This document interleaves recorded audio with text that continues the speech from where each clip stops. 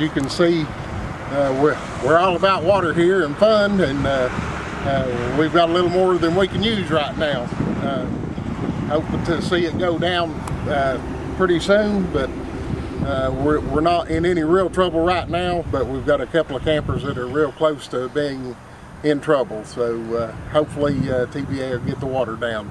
We won't have any problems. We got up Monday morning and, and the water was at the steps to the gazebo and by Monday afternoon it was in the road up here.